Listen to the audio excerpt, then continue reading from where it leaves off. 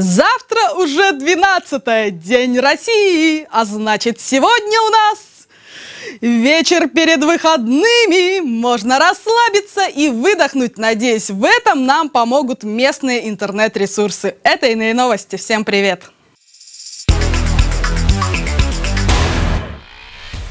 Тему праздников статья на Амике «Воскресенье вместе с папой». Специалисты Алтайского краевого кризисного центра приглашают всех пап, заинтересованных в совместном досуге с детьми. Следующая встреча состоится 21 июня, во время которой ребята будут строить город. Я вот думаю, то ли своих отправить,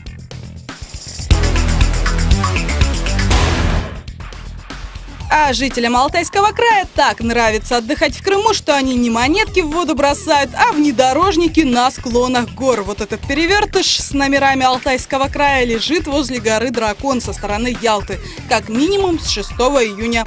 В пресс-службе УИК ГИБДД по Алтайскому краю информационное агентство «Банкфакс» уточнили, что автомобиль все же не угнан и в розыске не числится. Судя по данным интернет-форумов, раньше в ДТП иномарка с такими номерами не попадала.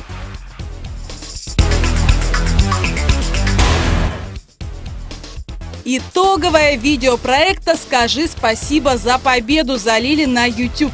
Барнаул Площадь ветеранов, 9 мая 2015. Смотрим и вспоминаем этот день.